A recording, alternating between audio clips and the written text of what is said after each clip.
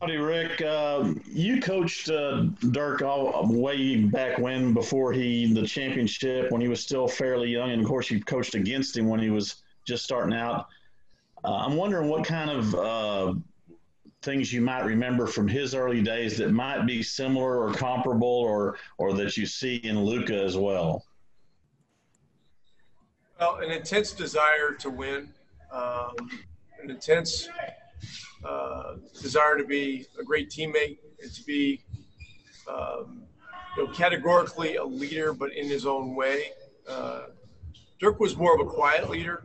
Uh, Luka's Luka's emerging as, um, you know, more more of a vocal leader, probably categorically than than Dirk was, and and it's not surprising simply based upon the fact that the positions are so different. You know, when you're the point guard, um, I mean, you have the ball, and and you know, everything kind of runs through you. And so, uh, you know, as we've gone on in practices here, uh, Luka's done a great job of, of leading, um, you know, the entire team, leading whichever team he's on on a, on a given day. We're, we're doing a lot of changing the teams around.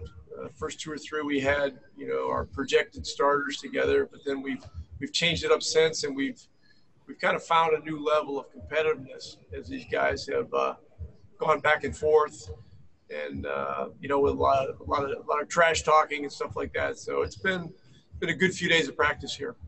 I was going to ask also if you'd seen a uh, a, a, him showing signs, or maybe he already has shown that he's ready to be into playoff mode uh, since he's even though he's never done it in the NBA, he's got a lot of experience in that regard. I could certainly sense that he um, he he's he's sensing that you know we're getting closer to that, and you know I just continue to see him raising the level of, of his game in all areas and, and refining his game in all areas, and uh, just going really hard. And you know, when when when the best players go hard, you know, the whole team goes hard, and that's uh, that's one reason we've had really terrific practices here from from start until now. Okay, Brad, straight out of quarantine. He just cleared quarantine. Brad Townsend, go ahead. Coach, uh, can you tell us what you'll be looking for in that first scrimmage? we'll be looking at combinations. We'll be looking at our conditioning. We'll be uh, looking at you know how to attack different coverages that the Lakers throw at us, and and uh, we'll look to change up our coverages defensively and study you know how we're doing you know with with different kinds of things from you know base defense to switching to trapping scenarios and those kinds of things. So. Um, know, I'm looking forward to it. It, it really feels and appears that this is timed out well um, for you know the scrimmage to ha- be happening when it when it is uh, this coming Thursday. Thank you. Uh, Saad, go ahead. Hey, Rick. Um, I've heard you. I've heard you say a lot um, over the over the years just about the importance of positionless basketball. Um, when you when you have you know some of the depth uh, issues at at, uh, at your big men, how much more important is it to have that versatility across the board where people can play so many various positions?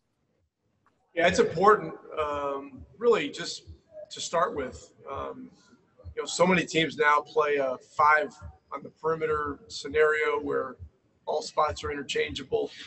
Um, you know, we're similar. Um, but you know, with our with our numbers being down, with you know Powell unable to to, to play and uh, Stein not being here, um, you know, it's uh, we're going to have to be ready to to be creative. Like today, we had a scenario where you know Finney Smith was playing some five during practice. Um, he's got a good feel for it. He's got a good feel of mixing up, you know, rolling and popping and you know, shoot the ball really well. So, um, you know, we'll, we'll continue to look at all that stuff, and who knows, maybe maybe we'll get a you know a, an alignment out there with all guards. You know, we'll have to see how things go. Okay, we'll go one more question. Dwain Price. Go ahead, Dwain. Hey, Rick, can you hear me? Yep, go ahead, Dwain. Uh, what do you admire about a guy like Antonius Cleveland, the way he keeps coming back year after year when he's only played less than 30 NBA games so far? Yeah, he's he's done a terrific job here. Um, you know, he, he knows who he is as a player. He's a he's a he's a three and D guy who's you know three point shooting is getting better and better. He's always active. He's become an elite driver of the basketball. Um, his feel for the game uh, continues to, to get better every single year. And uh, you know, even though he's he's uh, 26 or 27, which you know in today's world in the NBA he seems like old, like an older age. He plays very young. I mean, he's always in great shape. He Flies up and down the court. He has he has great bounce, and uh, you know he's just he's just a factor in practice with his competitiveness. Do you see players like that going the extra mile because they have so much riding on the outcome? Of course. You know, I I know it well. You know, when I was when I was a player in this league, you know, I was I was fighting for my job really every single day, and uh, you know, training camps were, um, you know, were my Super Bowls. You know, and uh, so I, I'm well I'm well aware of it. I'm, I'm very familiar with it. Um, but I, you know, I just I love his concentration and I, and I love his commitment and uh, yeah, he's shooting the ball better and better. I'm really impressed with that. Peter Patton's done a great job with him with his you know with his, simplifying technique, you know, and getting his confidence really going. So uh, you know, a lot of good things from AC.